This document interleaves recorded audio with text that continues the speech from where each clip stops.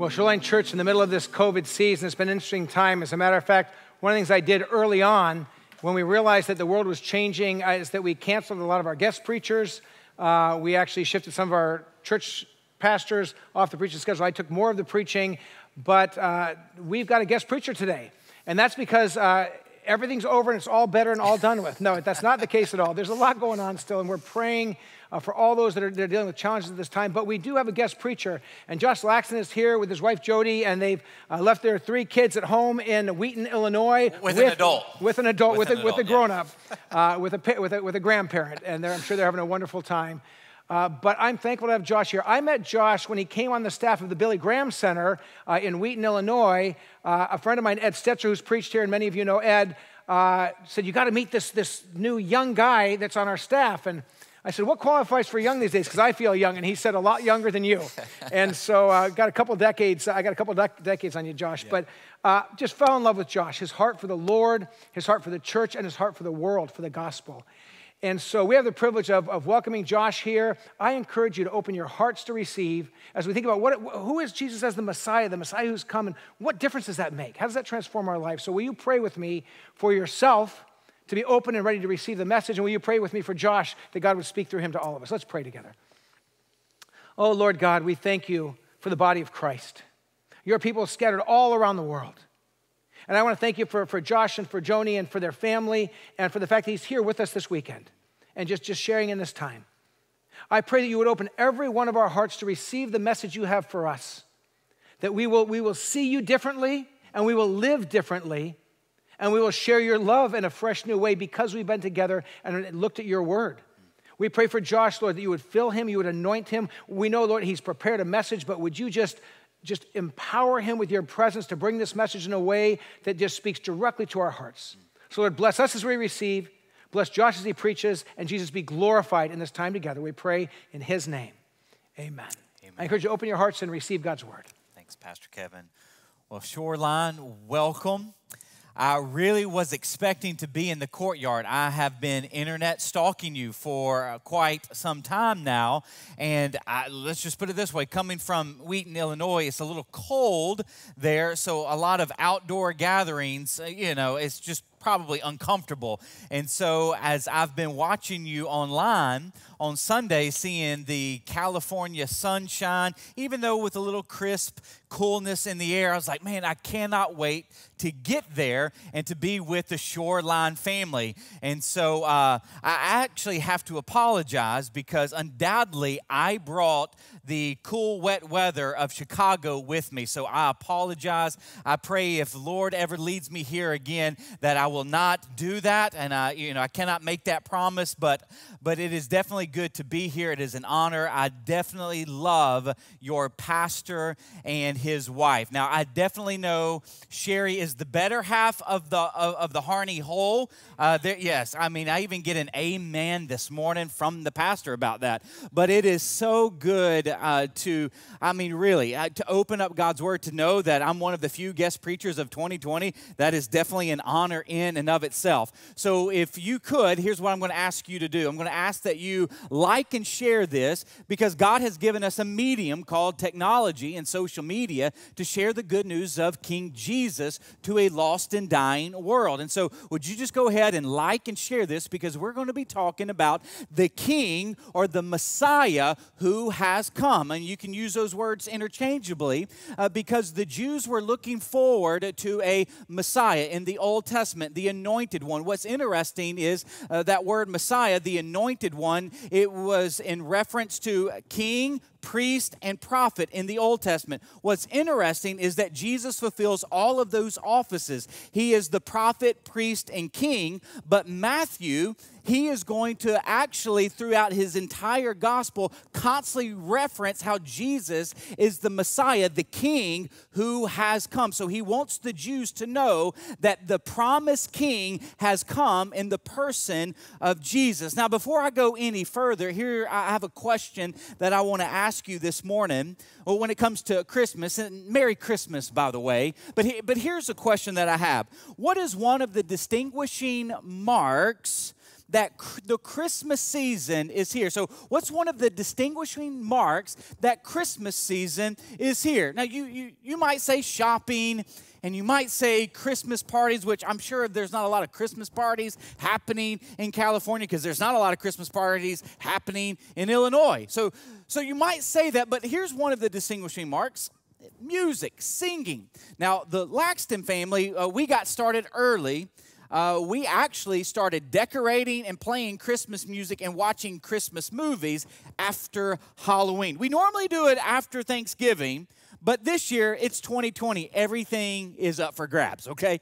So we started singing Christmas songs. Now, I ran across an article that was written last year by Times uh, Magazine, or, or, or Newsweek actually, and the article was entitled uh, the top 20 best selling Christmas songs of all time. Now, I'm not going to list all 20 songs. I'm going to give you the top 10 from 10 down to 1. Let me share them with you Blue Christmas, Rocking Around the Christmas Tree, Mary Did You Know, which that's one of my favorites, by the way, Christmas Eve, uh, Do You Want to Build a Snowman? So think Frozen mistletoe. And then there was a tie for fourth. Uh, do they know it's Christmas? Rudolph the red-nosed reindeer. All I want for Christmas is you. Silent night and white Christmas. Now, you might be saying, Josh, why, why have you shared that with us? Because I, here's what I find interesting that 20% of the songs that our culture believe are in the top kind of 10 songs of Christmas, only, only two of them have to do with Jesus.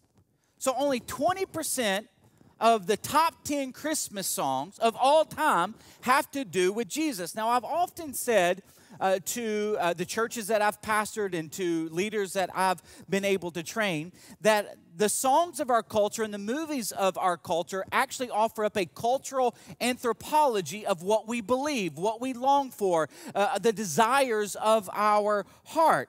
So it shouldn't surprise us then that our culture, 80% of the music or Christmas music in our culture has nothing to do with Jesus, but we do have a little bit of, you know, spiritual songs sprinkled in there.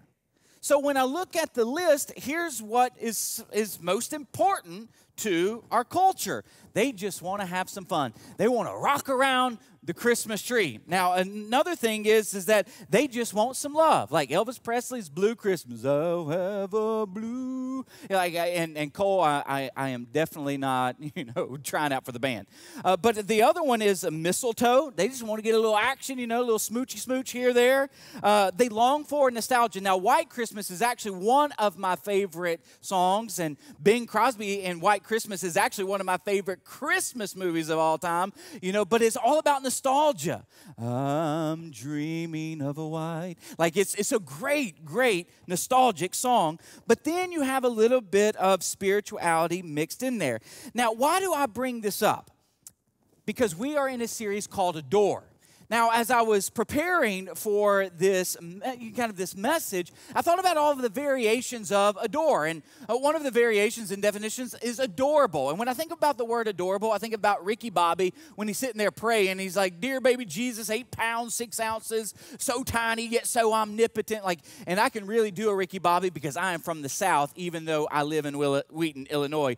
But it's more of about adorable. And I think there's a lot of people that sometimes mistake Jesus for just that little baby who's such, you know, who's so adorable around Christmas time. Or, you know, you can think about, oh, you know, I adore him, meaning I have so much respect for him. And I think there's a lot of people in our culture today, they, they do adore Jesus. They, they have respect for him, they, they hold him in high esteem. But what we're looking at in this series is that we ought to adore. And there's, a, there's another word, adoration. We ought to worship Jesus. We ought to worship worship the King. And when it comes to singing, the songs that we sing actually reflect the worship of our heart, especially those songs that are extremely meaningful to us. I mean, think about it this way. I know that there's probably a lot of songs that we like the rhythm, we like the beat, we like the melody, and sometimes we can just mouth the words, but, but they really don't resonate with us. But it's those songs that really resonate with us.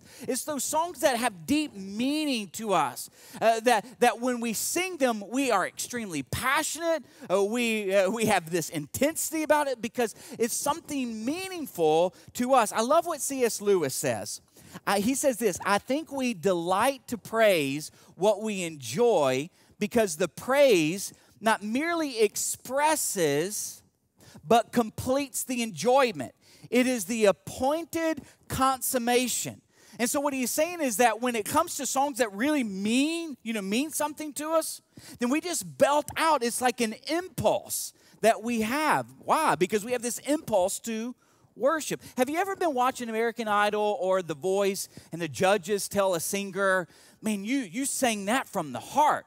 What are they saying? They say they're saying you connected with the words and we believed you. And could you imagine, like as believers, we're called to worship the King. What comes from our lips should also reflect in our lives. I mean, could you? I mean, could you imagine what the world would look like if believers, what come, what what would come from their lips, would actually be reflected in their lives, and the world would look at us and go, "Man, you really believe what you sing?" Like, yes, that's it. We want to worship the King, not just through song but our lives. And so here's what we're going to flesh out for the next few moments. It's this main point. So let me go ahead and give you the main point. And if you're taking notes, just go ahead and write this down. The birth of the king should make our hearts want to sing. The birth of the king should make our hearts want to sing. And Matthew is really going to paint this picture really all throughout his gospels, but he's coming right out of the gate to saying, The king's come, and, and, and you should want to worship him. You should want to sing to him. You should want your life to revolve and orbit around him. So let me pray, and then we're going to flesh out this main point. Jesus, will you speak to us? Spirit, will you go to work conforming us more into the image of our King? For those who are far from you, maybe checking uh, you out for the very first time, or they are scrolling through one of their friends' feed and they come across this. With Spirit, will you bring conviction to their life? Would you, would you move in their heart and their minds to open up some room to give thought to who Jesus is? We're going to praise you for what you're going to do in this time that we have today. And it's in your name we pray. Amen. So we're going to look at three things, answer three questions basically. Here's question number one why the birth of the king should make our hearts want to sing. So, why the birth of Jesus? Why, why should his birth make us want to sing, make us want to worship? I'm going to give you four reasons real quick, and I'm going to spend the, you know, the bulk of the time on point one, so don't get nervous, okay? So, so here's reason number one Jesus ushers in new creation. Jesus ushers in new creation. We see this in the very first sentence in Matthew's gospel. This is the genealogy of Jesus, and here's our word the Messiah, Jesus the anointed one, Jesus the King. This is the genealogy. Now, what's really interesting with Matthew, again, he's writing to Jews. And so, what he's doing is that he's connecting the genealogy or the genesis of Jesus to the genesis of creation and the genesis of Adam. Like, let me read to you Genesis 2 4.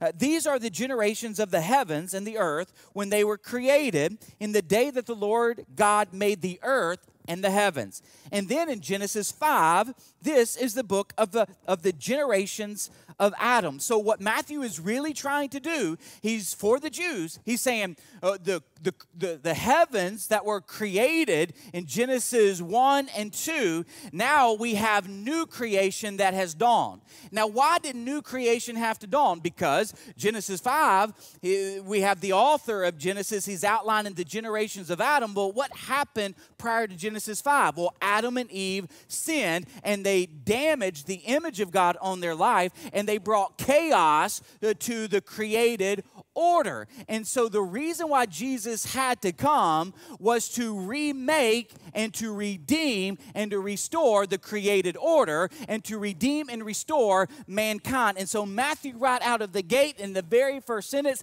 he's telling us and he's telling the Jews that the dawn of new creation is here in the person of Jesus Christ. So you can think of it this way in the book of Genesis, we have the story of the creation creation and the story of the fall. So basically, chapters one, uh, chapter one and chapter two. Well, with Jesus, we have chapters three and four, redemption and restoration. And so that's the overarching story of the Bible creation, fall, redemption, restoration. Now, I, here's what I know I know our culture loves stories.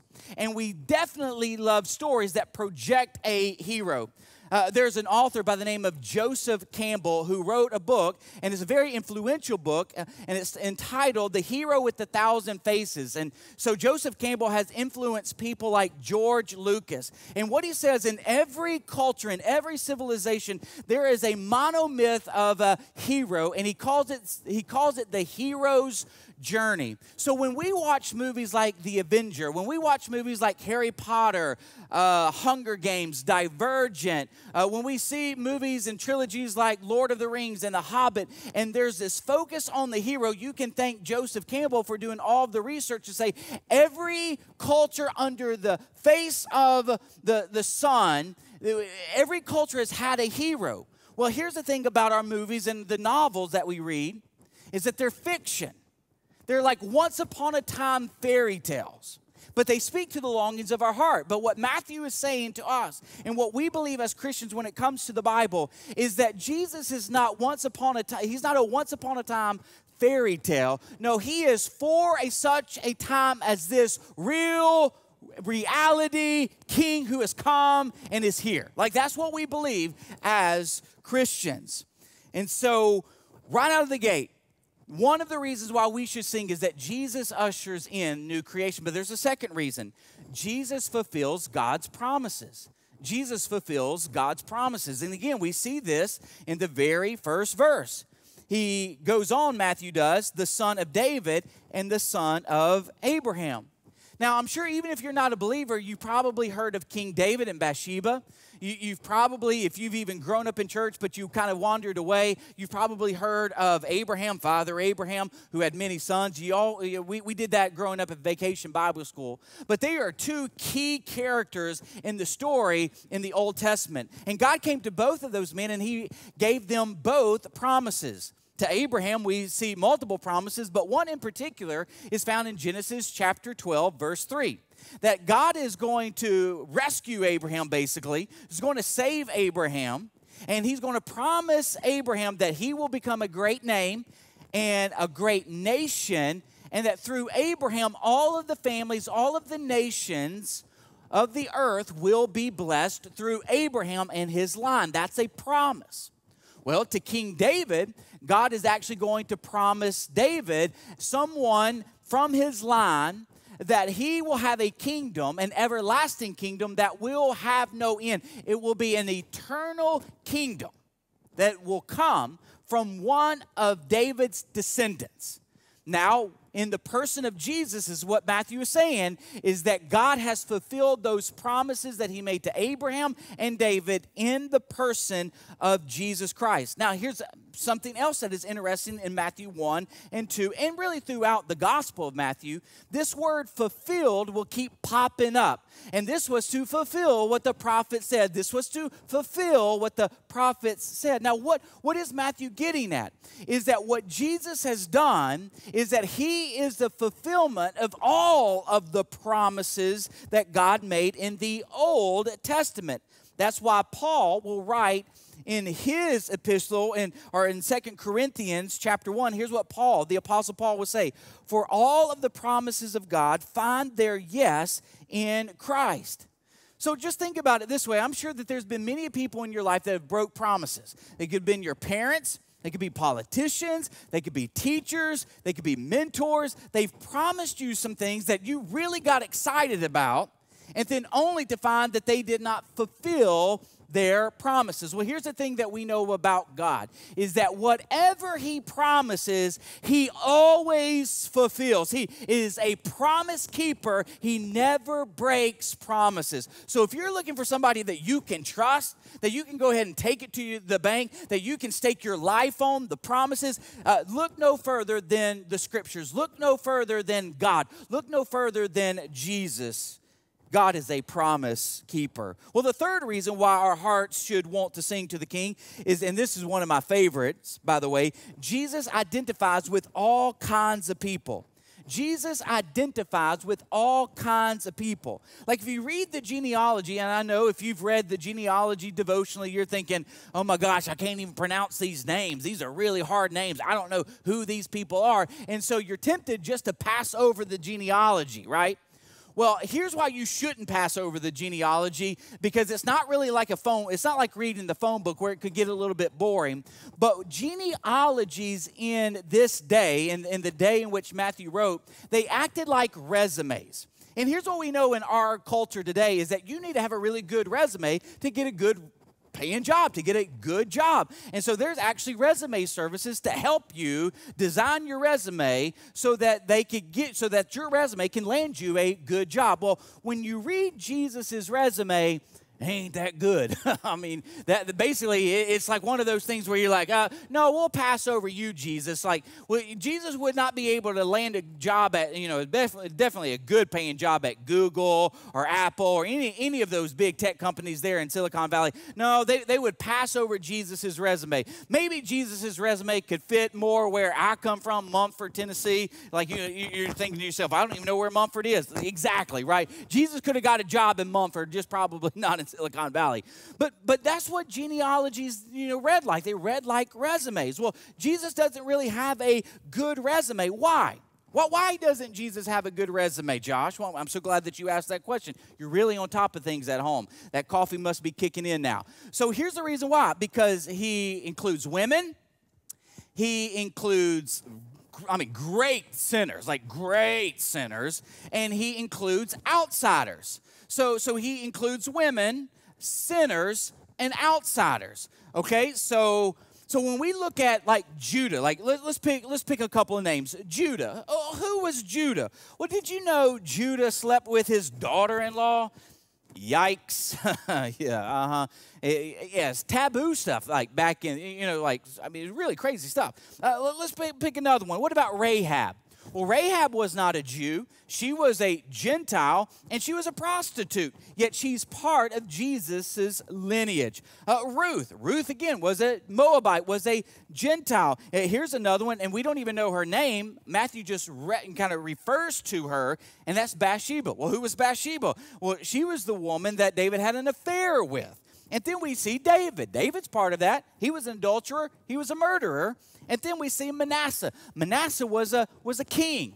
Uh, he was an evil king, by the way. So if you go back in 2 Kings 21, you can read about all the evil stuff Manasseh did. But there are some other, you know, uh, uh, names uh, on here like Elihud. Uh, you know, you're like, who's Elihud? Well, I, you know, you really have to go back and really dig to find out who he is. So he's kind of insignificant. So what is my point, and what is Matthew's point? Is that Jesus identifies with whoever you are. Whoever you think you are, if you think that you have a bad, tainted past, Jesus identifies with you. If you think you are an outsider, an outcast, uh, may, maybe you're estranged from your family, let me tell you something. Jesus identifies with you. Maybe you're struggling with shame and guilt, and, and you, you are struggling in sin, and you know it, and you feel ashamed. You feel embarrassed. Let me tell you something. Jesus, the King of the cosmos, identifies with you. So it doesn't matter who, and, and, here's what I would say I know that there's probably a lot of wealthy people listening to this. I want you to understand that Jesus identifies with you because there are wealthy, powerful people that are mentioned in his genealogy. So think about it this way is that Jesus is the king for all mankind, no matter who you are. And then the fourth reason why our hearts should want to sing to the King is that He came to save sinners. Now I understand this is where our culture gets a little you know squeamish. Sinner? You call me a sinner, Josh? Well, I'm not. The Bible is. God is. He's calling you a sinner. And let me just tell you why. Because you might be sitting there today and you're thinking, I'm not a sinner, you know, but, but let's, let's just really think about this, okay? why did Jesus have to come to save sinners? Well, you have to go all the way back to Genesis, right? God created a perfect world where there was no sin. Everything operated according to God's plan. And I know that there's a lot of people here on staff at Shoreline. Like I've, I've learned about Sean and haven't really got to, you know, kind of talk with him yet, but love systems and processes. And, and so when we create systems and processes, we want them to flourish. We want them to work. We want them to bring about fruit. Well, that's what God created when he created the cosmos. It was systems and processes that work to the umpteenth degree. It was beautiful, it was harmonious. And then he had created mankind in his image, put them in the Garden of Eden. And there they enjoyed perfect relationship with one another and perfect relationship with God. I mean, it literally was heaven on earth. And God said, Listen, have complete freedom here in the garden, but I don't want you to eat from this one tree.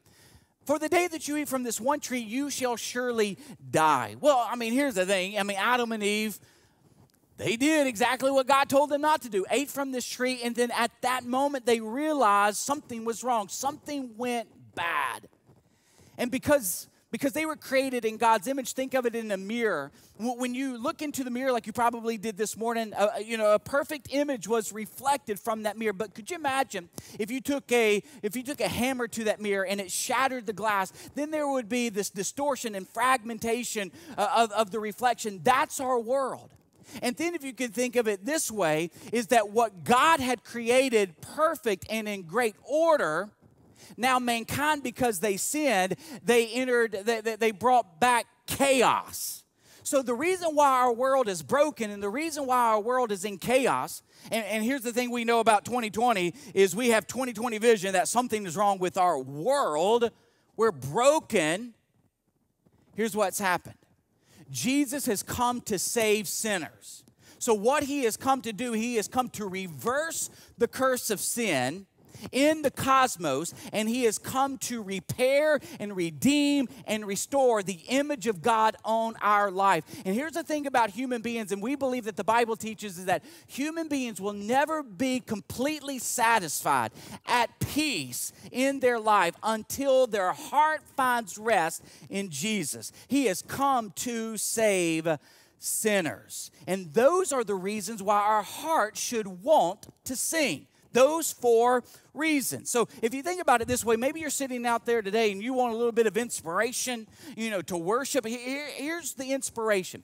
The incarnation is our inspiration. Uh, the reason why we are even inspired to worship God is because God became flesh and God dwelt among us. And so think about it this way the incarnation is our inspiration to worship. But let me answer this question. Question number two How we know we mean what we sing. So, how, how do we know we mean what we sing? Now, this is really for believers. Because the reason why this point is so important is that I believe that there are a lot of followers of Jesus, a lot of Christians. Maybe they attend church, maybe they read their Bible. And, and so, with their lips, they profess Jesus, but their lives are far from him. Uh, like Brennan Manning, he is quoted as saying the greatest uh, single cause of atheism in the world is professing Jesus with our lips, but denying him with our life. And so here's the question that I want believers to wrestle, or here's some questions that I want believers to wrestle with that basically act as an assessment of whether or not you really mean what you sing, whether or not you really mean what you worship. So if you say you worship Jesus, how do you know? Here, ask yourself these four questions. Uh, number one is uh, do uh, do you obey the king? Do you obey the king? Now we see this in the life of Joseph. So Joseph and Mary, they are engaged. Uh, they have not consummated the, the uh, engagement yet, or have, they have not consummated the marriage. And so, if you're a teenager or a child and you're listening to this, you ask your parents what that means, and they would be happy to answer that for you. But they're engaged right now, and it, and, and, and it just so happens that Mary becomes pregnant. Now, Joseph knows it. it's not by him. And Mary's like, well, it's not by any other man. But but Joseph really, I mean, he's having a hard time with it. He's struggling.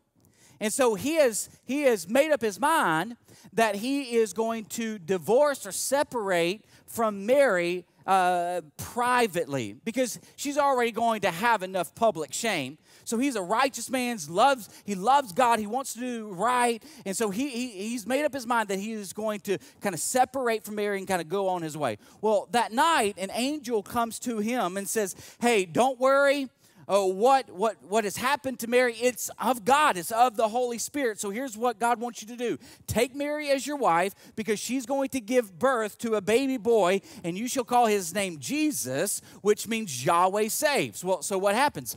Joseph, he wakes up and he does exactly what the angel had told him God wanted him to do. Let me just say it this way, believers, is that sometimes obedience to the king is not easy.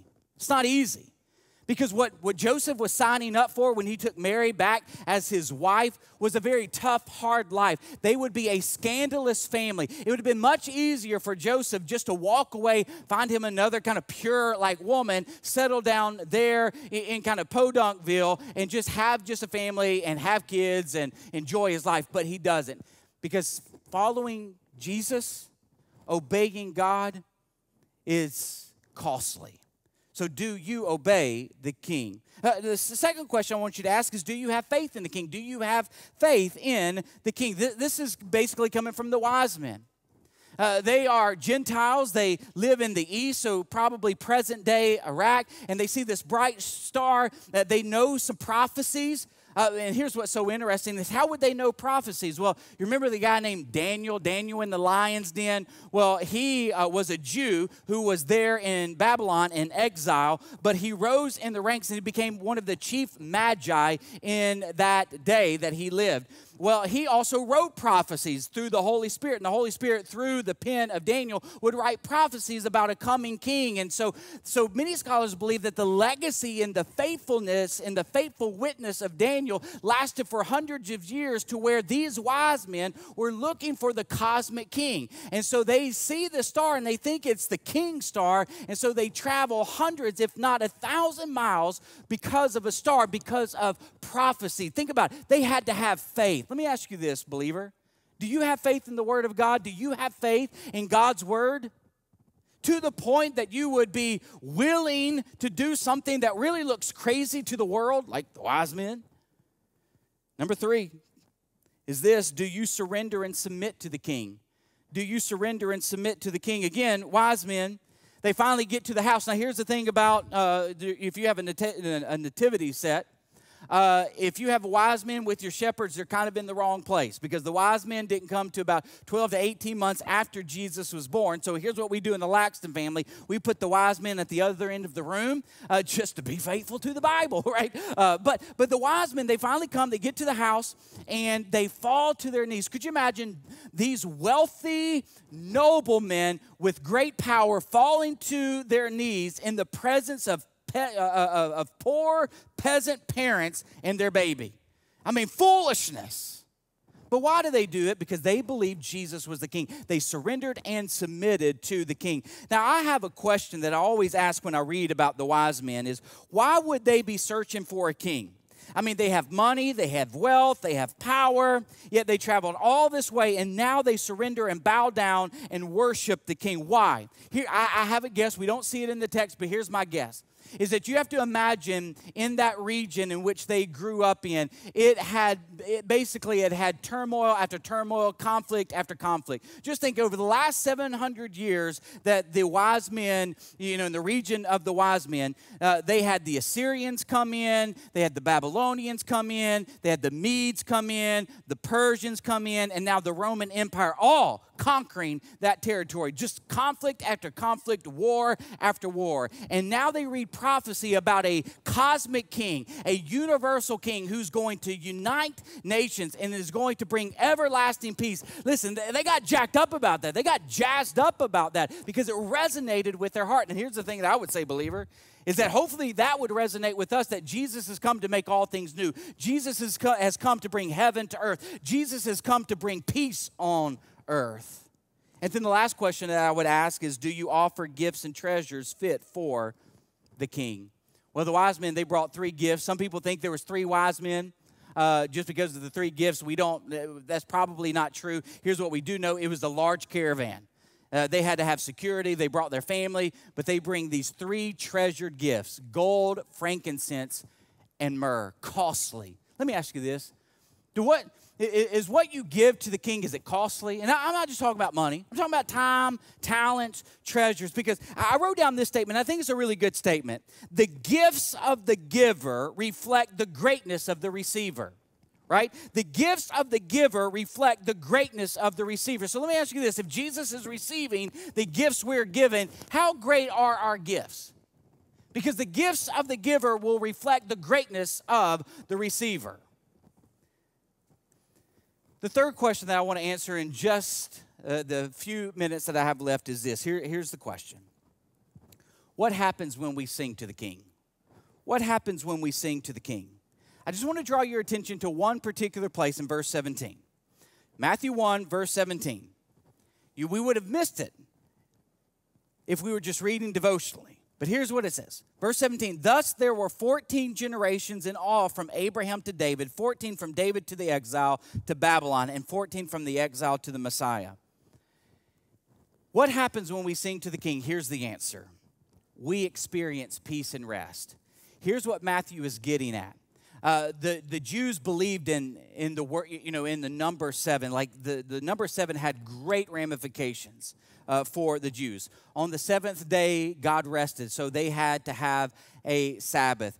But then, like every uh, every seventh year, they had a sabbatical year, and every seven times seven, so every forty nine years, they were supposed to have a year of jubilee. Here's what N.T. Wright, a New Testament scholar, says about this verse. All the generations to that point were 14 times 3. That is six sevens. With Jesus, we get the seventh seven. He is the Jubilee in person. He is the one who will rescue Israel from its long continued nightmare. So, what Matthew is saying as he writes verse 17 is that Jesus is the cosmic Jubilee. He is the one that is, he is the one that is bringing freedom. He is the one that is bringing salvation. He is the one who is bringing true rest. He is the one who is bringing true Sabbath to the world, to individuals. And so here's my question Does your heart sing to the King? Does your heart sing to the King? Because who Jesus is, the coming Messiah, should make your hearts want to sing. Let's pray. Jesus, would you do a work through the preaching of your word and through the truth of how you are the cosmic king come to make all things new. So I pray for every single person who would listen to this that are far from you, will you draw them near? For those who are already near, will you conform them and shape them more into the image because you are our king and we surrender and we submit to you. We worship you. We adore you. Josh, thank you for ministering to us and bringing God's word. And I hope you've been as blessed as I've been. Yeah, thank you. And uh, I want to invite you to, uh, now that you've heard this message, if it struck your heart, as you do with other messages, pass it on to someone else. Send the link to somebody else and invite them to listen to this message and understand who Jesus is as the Messiah. Uh, before I send you off with a word of blessing, I want to give a few invitations to you. One is that we will be meeting next Sunday on campus here. Again, we follow all the protocols and our county, our state guidelines allow churches to gather outdoors following the same guidelines we've been using. So nothing will change for us here at Shoreline. Uh, so be sure you register for church next Sunday. And then Christmas Eve, we have a 1 o'clock, a 2.30, and a 4 o'clock service. 1 o'clock, 2.30, 4 o'clock. The 4 o'clock one is filling up quickly. Go online, register. We're praying for great weather. Join us in praying for that and a great time celebrating. All the services are in the daytime. We miss the morning cool. We miss the evening darkness. It's a perfect time of the day. Three services. Invite a friend along to join you online or on campus here to worship. If you want prayer for anything going on in your life or for somebody you love, call or text the number you see on the screen there or contact, contact, contact us here at the church during the week. We want to pray with you. We want to lift you up and come alongside of you and pray for you. So be sure that you do that. And then also, if you're new, maybe, uh, maybe uh, somebody liked or shared this message in the middle and you jumped in, you're new at Shoreline, or maybe you just jumped in for the first time at the beginning of the service because a friend invited you, we want to invite you to connect here more at Shoreline. So the number you see right there, just text the word welcome. And when you text that, we will send you a digital guest card and you can fill that out and we can answer any questions you have about Shoreline Church and come alongside you and encourage you. And so we thank you for joining us for worship. I want to send you off with a word of blessing and again a warm invitation to join us next Sunday at 9 and 11 and Christmas Eve. But receive these words of blessing.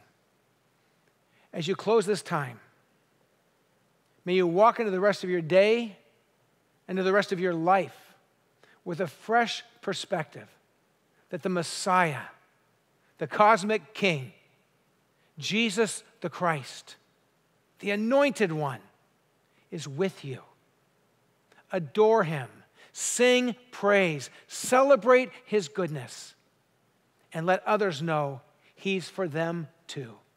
God bless you. Merry Christmas. We'll see you next Sunday.